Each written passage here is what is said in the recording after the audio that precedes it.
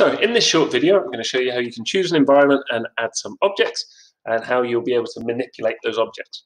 So in CoSpaces, I've gone over to My Spaces and create a space. I'm going to choose a 3D environment. And the first thing I need to do is choose the environment that I would like my space to be.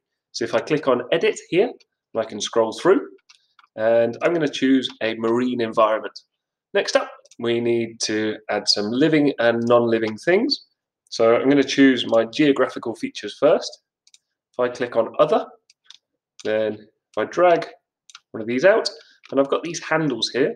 This one is to rotate on the X, Y, and Z axis, so I can rotate it this way.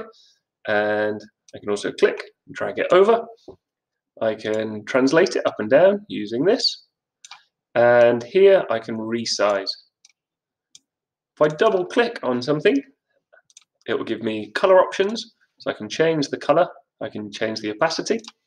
And for the living things later on, I'll also show you how you can animate them. Let's take out one more thing. Also a useful tip, once something's where you want it, double click, lock it up. Double click, lock it up. That means that when you're moving things around, they will stay there. Back into library, over to animals, water animals. I've got the option of land, water and air here. I'm on crabs. I want to zoom in. I use the scroll. And if I want to pan left and right, forwards and back, if I hold down spacebar, click and drag.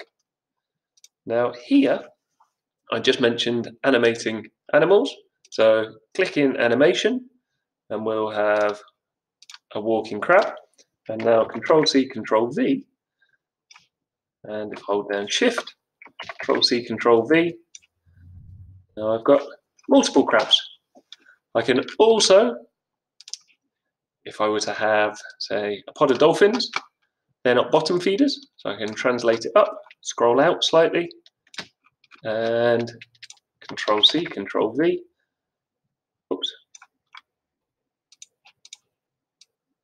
drag that out. And again, if I want to animate them, they can have individual animations, or if I give them the same animation, when I do Control C, Control V, then those animals will all have the same animation. Looks a little bit unnatural if all the animals are at exactly the same height. So have a few higher, a few lower. Again, the same rules apply if I want to change the color. If I were to have uh, a pink river dolphin, then I could change the hue slightly. And there you go. So I've just created an environment. I've dragged out some uh, geographical features. I've locked them up so they won't move. I've started animating them, changing the color, and also duplicating them.